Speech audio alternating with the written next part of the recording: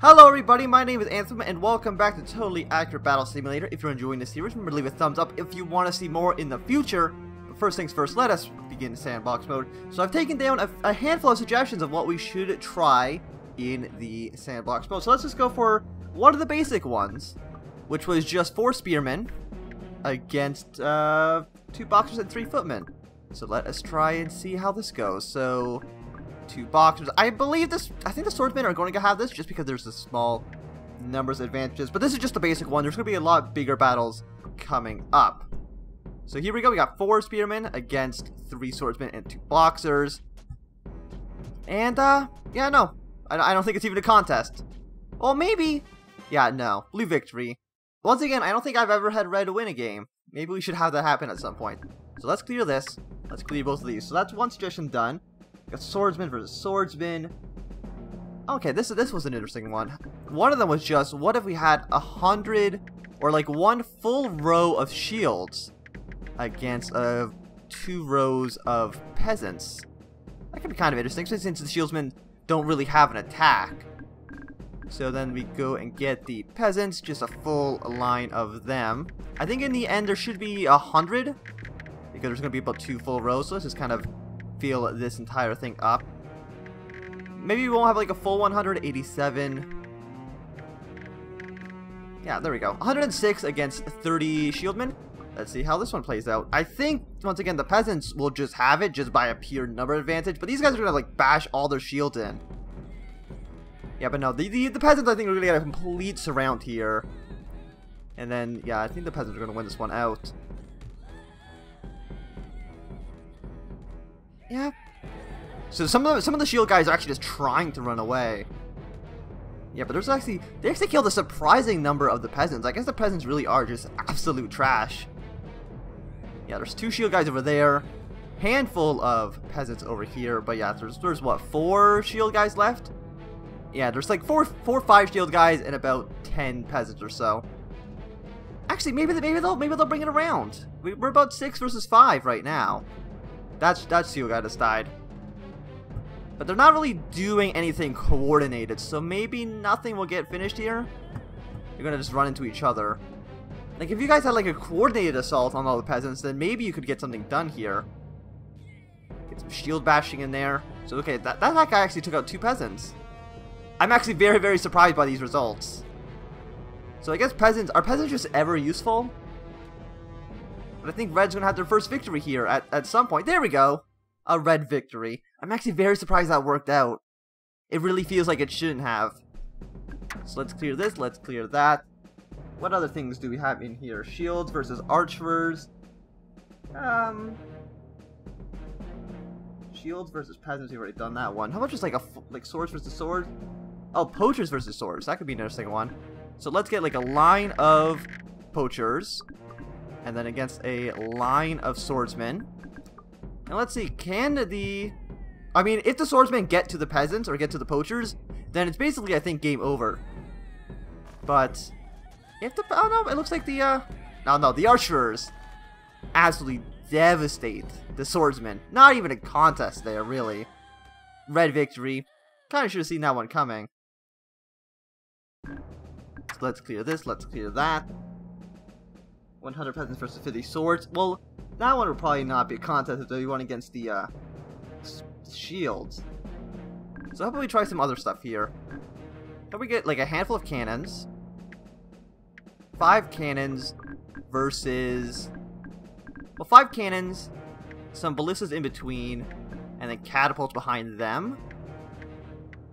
And then I don't know. Uh, let's just have like a little bit of peasants back here and have them go against, um, well, just a bunch of, for one, a bunch of poachers, and then some chariots behind them. Let's see how this one goes.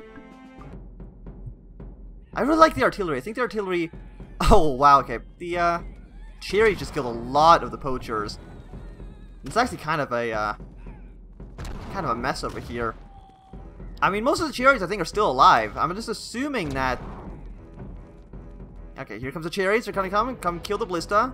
There's one catapult I still think is operational, even though it's not really doing anything.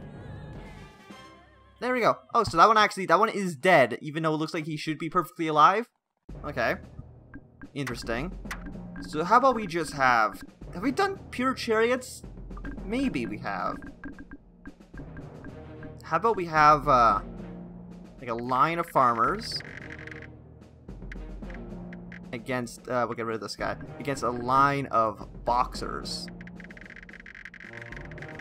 There we go. Even though they're not, you know, perfectly in a straight line, doesn't really make too much of a difference, I think. We got a lot of guys here with weapons against a lot of melee guys who just mostly get stuck on themselves. I don't... Well, that's going to make red team have a very, very easy time with this, isn't it? If they, if all the boxers just get stuck running around in circles. These three guys are absolutely the best of friends. Oh no, actually, they, they choked the one guy out in the middle. But the rest of them are perfectly good friends. Yeah, so it looks like the farmers have it. There we go, we're gonna kill a handful of them. Here comes some farmers, they're gonna come kill this guy. And I think he might be... Wow, that box took out like four or five of the uh, farmers. So we got one, we have one boxer left. Two of the farmers are just kind of stuck where they are. Up, oh, boxer, I believe in you. We got one boxer against one farmer. Boxer. I believe in this guy. Unless this guy, he just gets stabbed right in the eye, which could happen. Up, up. Who's gonna win? Who's gonna win? Oh, the Boxers just barely won out in the end. Oh, this guy looks very surprised by that result. Okay, well, how about... Let's clear this. Let's clear this. Barbarians? How about we do, like, a Roman invasion? Well, not Roman invasion, but, like, the barbarian invasions of Rome. So we'll get a bunch of shield guys. Uh, we'll kind of want them all in a row. It's a little bit easier to have the, uh, the shield guys in a row, just because they take up four squares. So we're gonna have like a bunch of legionaries. No, I want it to be like here. No. Go like that. And then kind of slide across here. There we go. And then behind them we should have a bunch of spearmen. And how will Rome do against the uh, the onslaught of barbarians?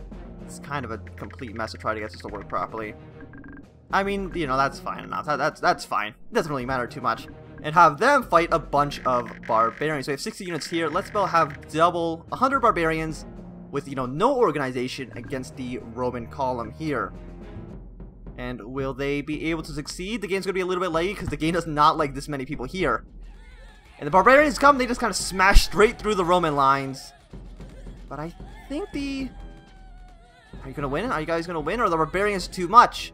those shield guys, they, they, they, they don't want to be here at all. The shield guys never really want to see them be, want to be part of a battle. But it looks like the, the Romans are going to win out in the end. This one guy's stuck on his spear, but that's fine. It's kind of like a little flag, but of a dead body. And this guy here.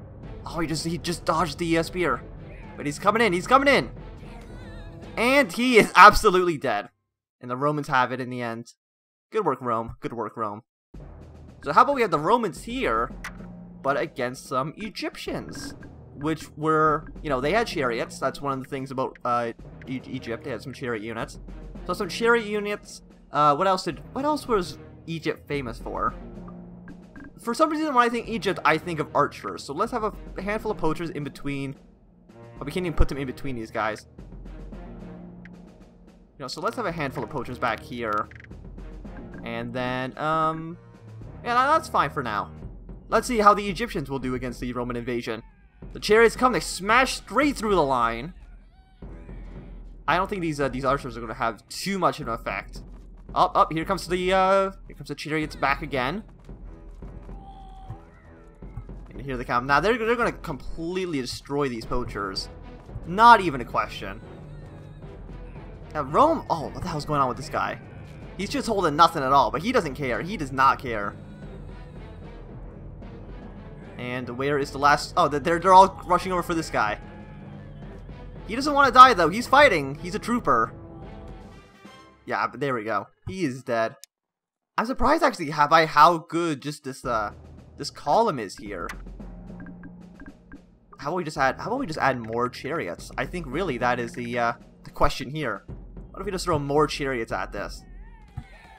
So they smash through that line. One guy kind of freaks out. Goes to the moon. Look, you can see some contrails up there of, of dead human beings. There we go. So, yeah, Rome just apparently cannot be beaten. Well, there's gotta be something here that could beat them. How about a row of ballistas? How about two rows of ballistas?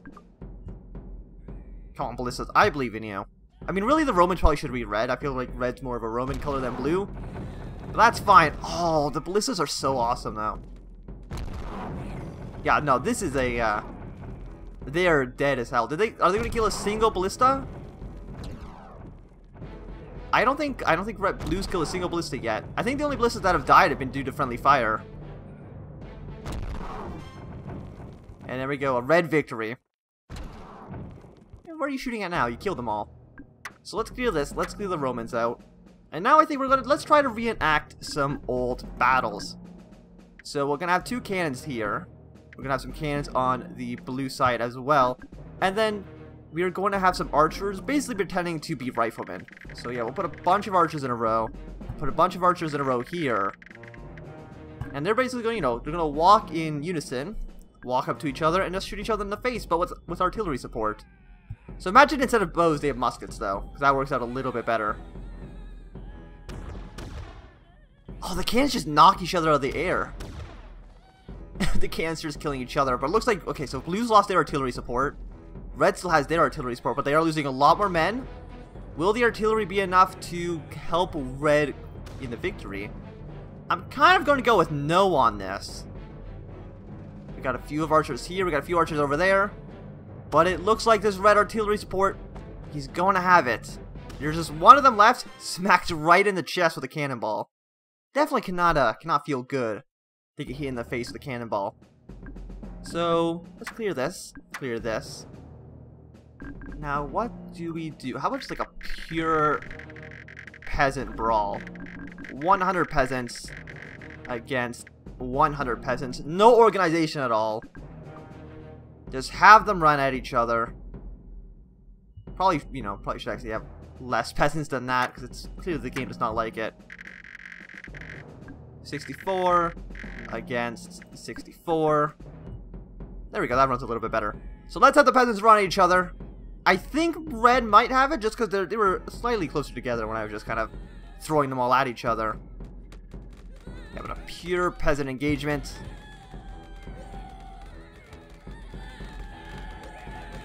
Guys, are you guys doing okay? Okay, so it looks like uh, Red's winning here, or they're doing a really nice hug. They love each other very much. Up, up, up! Nah, Red here is dead. How are you guys doing over here? I think Blue is just overpowered. Even, even with, like, completely the same number of units, they just completely lose. Yeah, so this guy, he just, he just, he's just gonna keep running in circles. These guys, they're just kind of all hanging out. And that's nice.